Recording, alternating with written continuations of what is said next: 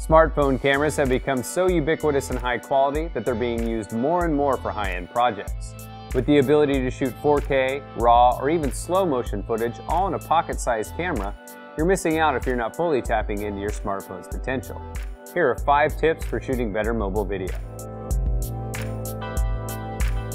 Smartphones are light and small, making them hard to keep stable. Shaky video might be your style or intention, but in most cases it's not.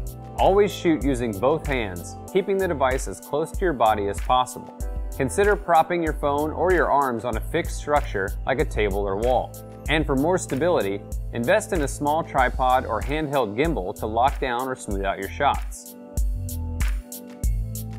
Smartphone cameras have small image sensors and low dynamic range, so shooting in dark environments can lead to grainy, low quality footage.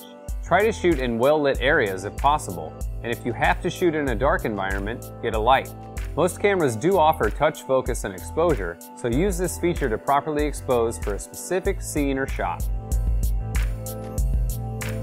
Vertical or portrait style video of shooting should be intentional. In general, most mobile video should be shot horizontally. It looks better, and you won't have to worry about cropping or other issues that come with uploading vertical footage online.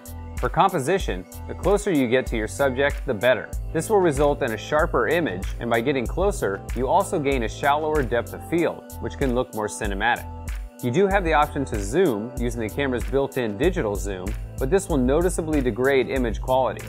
If you want more focal length range, look into a telephoto, fisheye, macro, or other lens adapter. Moment lenses, iOgrapher, Beast Grip, and Olloclip are some of the notable manufacturers, but there are many different options available.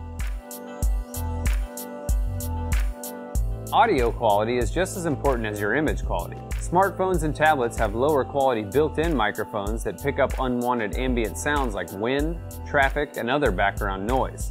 Audio might not be a big concern if you're filming something like Aurora Borealis or an amusement park ride, but if it's something like an interview where audio is vital to the viewing experience, be sure to find a quiet location or use an external microphone or microphone that plugs in directly to your phone.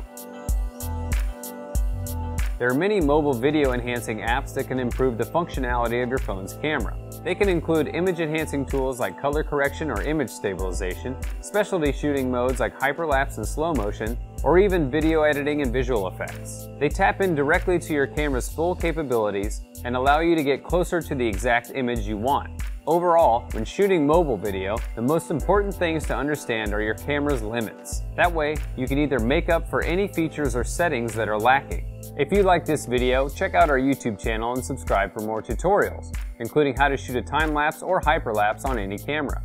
You can also read the Pond5 blog for other filmmaking tips and tricks. And as always, head over to pond5.com to get millions of videos and other assets to use in your next project.